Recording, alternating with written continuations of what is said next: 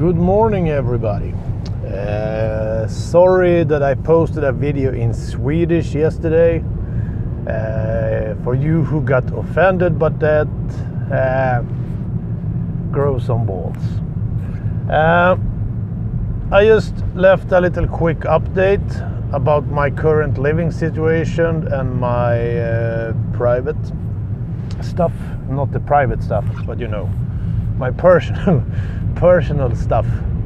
And um, for you who has been following me now for some years, you know that uh, I got laid off because I openly spoke my opinions and discussed facts um, before uh, media and uh, more established political parties started debating and discussing the stuff I did and uh, for the last three years I have been uh, a pariah uh, and I, I, haven't been able to get a job. Uh, I have been struggling hard financially. Uh, I've been struggling hard uh, mentally. I have had times where I have thought about ending my life because I couldn't provide for my kids. I couldn't I, got, I didn't get help from society. My family was kind of uh, ignoring me and uh, didn't really understand or really didn't care what was going on. Um, some of you stepped in and helped me out by uh, using PayPal and Patreon and uh, helped me out economically. And uh, for all you I just want to say uh, thank you because if it wasn't for you, I wouldn't be here today. Also, I now have gotten a job. Uh, not really a real job, but I have a, a place I can go to every day. Uh, I can feel needed. I can do a difference. I uh, earn some money. It's not much, but I can pay for my my house, I can pay for food, and I can put clothes on my kids. And uh, this is uh, quite overwhelming, and uh, I'm still in, in Sweden. It's kind of if you go talk to a therapist or you go to a psychologist and, and, speak about your problems and try to deal with your emotions and what struggles you have within, it's considered to be a bad thing and you consider to be a, a weak person. I know that's a difference in the US, but here in Sweden it's considered that you are weak and you have some kind of mental illness if you go to a therapist or a psychologist. But um, it helps me uh, to sort out my thoughts. It helps me to focus on the right things. And uh, I was really looking forward to start 2019 uh, as a family uh, where we both have jobs so we can start living like a normal couple once again. Uh, but as you know, uh, a few days before Christmas, a few weeks before Christmas, uh, my lady since 12 years uh, told me she wanted to leave. And she gave some bogus reasons. And a um, few days before Christmas we uh, we found out actually why we have struggled so hard for the last 10 years, why I have felt like we don't connect to each other.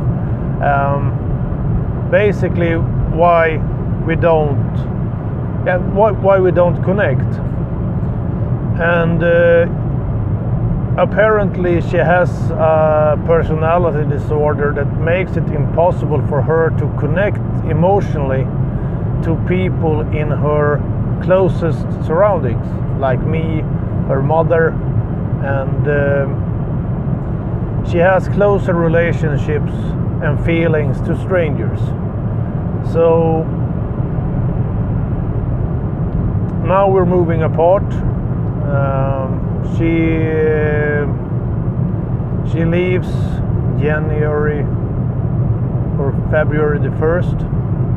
Um, she don't want to solve these problems together with me. Uh, she rather flee and tries to battle her demons by herself. Um,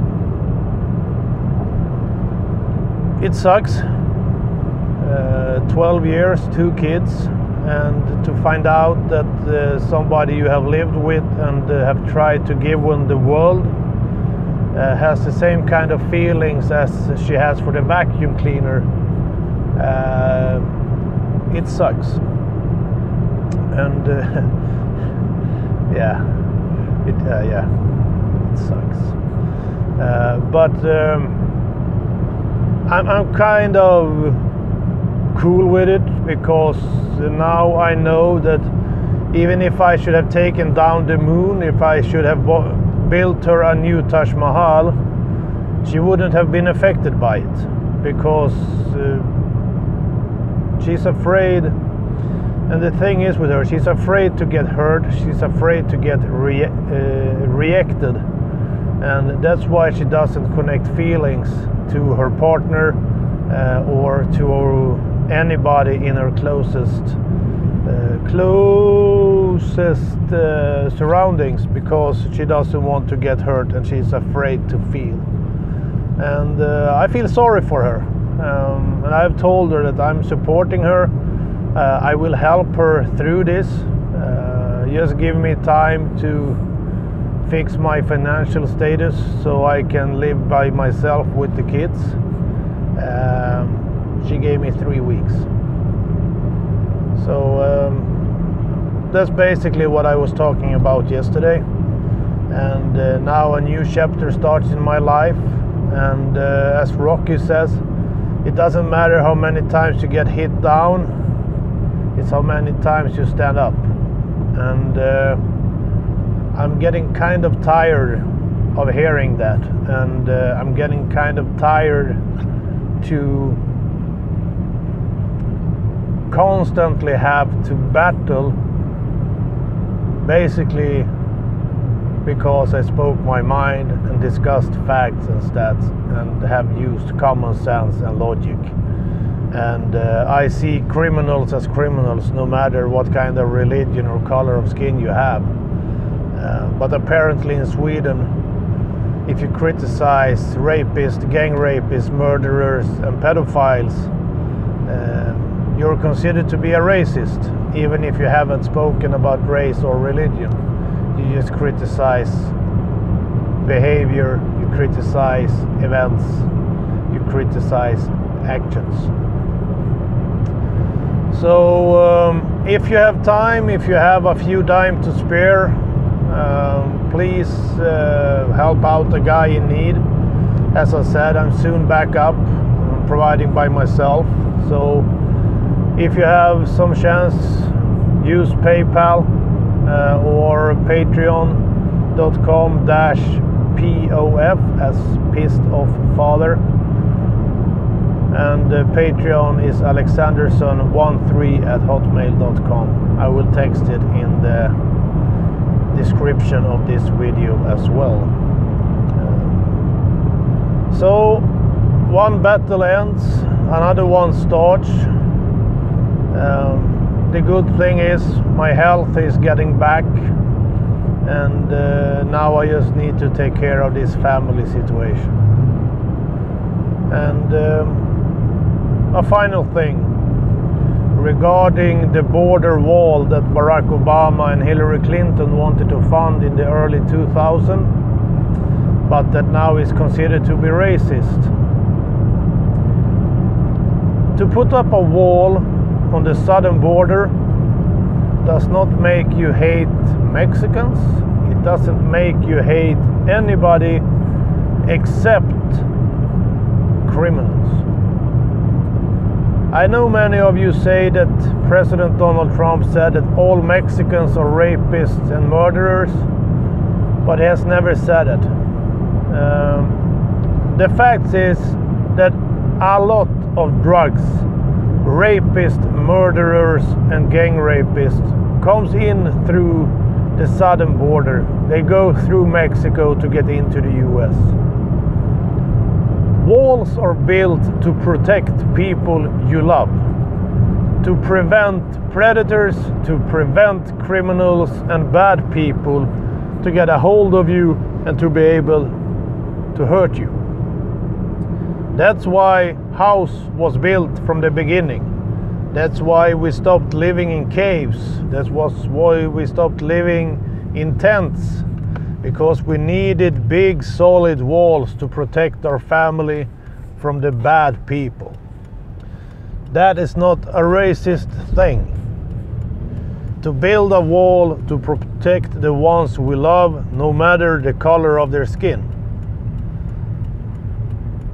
That's not racism. To prevent criminals, drugs, and other shit to come into your country that kills the ones you love. That is to take responsibility. To build a wall to protect good things from bad things. It's common sense. And I don't understand how come every time the Democrats has an idea, it's good, and when Republicans say the exact same thing, it's racism. Grow the fuck up.